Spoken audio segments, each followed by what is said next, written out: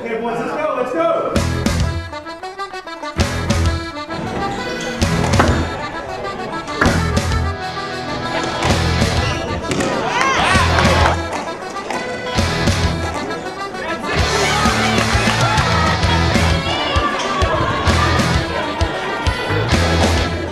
Hi, I'm Chris Dealey for Sqweek. We're standing here at Trinity College in Hartford, Connecticut, home of the Trinity Bantams. The squash team has won nine consecutive championships and has some kind of crazy mad win streak. We'll give you the facts a little later on. But today we're going to talk to Paul Assaiante, the head coach, and also the players of the squash team. highway signs will come down, streaks will end, but we will always be brothers in war. We will not today, under any circumstances, give in to this moment.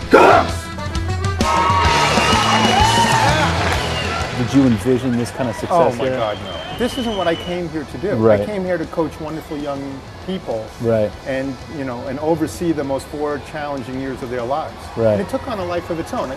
No way did we expect this. You know, it's really quite shocking. It really is bigger than us. Our players have come from England, Botswana, South Africa, Zimbabwe, India, Pakistan, Bermuda, Canada, My name is Supreet. I'm from India. It's David Sullivan. I'm from Philadelphia, Pennsylvania. Tommy Wolf from New York. Basit Ishfaq Chaudhary from Lahore, Pakistan. Well, you know, I'm not doing a lot of squash teaching here. I mean, these kids are really, really good. These guys are little rock stars on campus. What I'm good at is playing squash, and this is a place where squash is given a lot of respect. you have a lot of people coming up to you before a game, oh, good luck, and after a game, well played, and like walk around campus and stuff. Every one of these kids has been raised to believe that they're, you know, the heroes of their club, their league, their country. We're a team. And number 20 and number one to me are one and the same. And you've got to put that stuff aside. Coach Assaiante really cultivates a family atmosphere, and I've learned over the last three years that I'm responsible for each of my teammates beside me. What we talk about and what I coach is I talk about the awesome power of now. I talk to them about living every moment of their lives like it's the last second on earth. I want them to live their life like their hair is on fire. When they're in the classroom, I want that to be the best class they ever go to. And when you get involved in that stuff, you start getting more out of kids than they might normally get.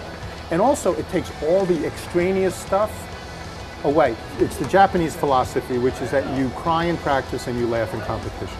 Because it's not hard to get a 19 year old excited to compete, but it's very hard to f- have them find motivation every day in practice. They all are required to condition away from practice. We don't use up practice time for conditioning. We'll condition together, plyometrics, uh, lactic acid, a lot of running. You know, I don't believe in practice, I believe in perfect practice. Very short, very intense. We get them in and we get them out. I want them to have a complete college experience, but I can tell you that I have their attention for an hour and a half a day. There are a couple of great coaches in this game, in the game of college squash. I think Bobby Callahan of Princeton is a tremendous man. He's just a prince. What do you respect about him? What are the tenets of, of what he does? He's all about sportsmanship and integrity. He's all about doing the game properly. And this is our family. It's the Trinity Squash family.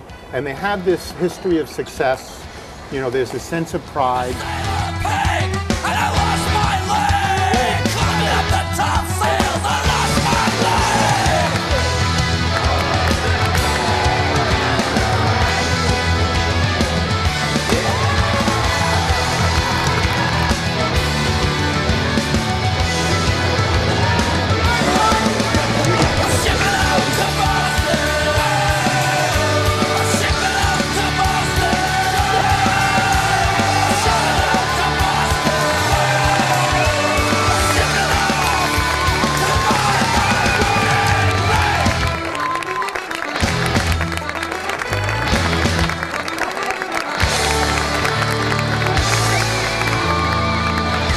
Say? Trinity College, maybe the greatest college sports team of all time. You be the judge.